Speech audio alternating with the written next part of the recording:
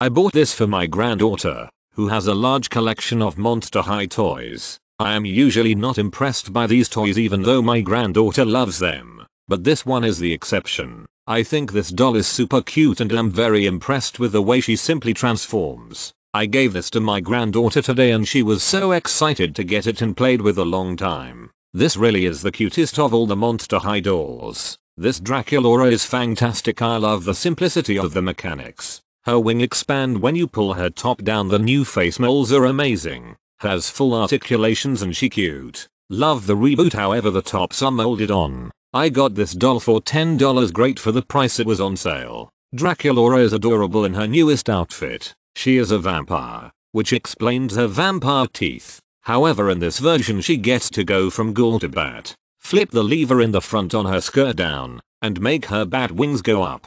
Flip it up and her wings go down and her dress changes. She now has a pretty bodice with bows on it. This is the latest version of Draculaura, who is very cool in pink turquoise and black. Her hot pink monster high heels give her, or any of your MH dolls who are wearing their heels, the ability to hang upside down from her special spot in the Monster High iconic school playset. My daughter had been talking about this doll all month long. December. I want the transforming flying Draculaura doll for Christmas she'd say with wide eyes and high pitched voice. So when she saw this Christmas morning she wouldn't let anyone hold her and showed off how to flap her wings. Stamp of approval from our 4 year old. Thank you Amazon. My daughter loves her. I am grateful to have received it. She loves running around flapping her wings and singing to herself he. Thank you. Cherish the little things.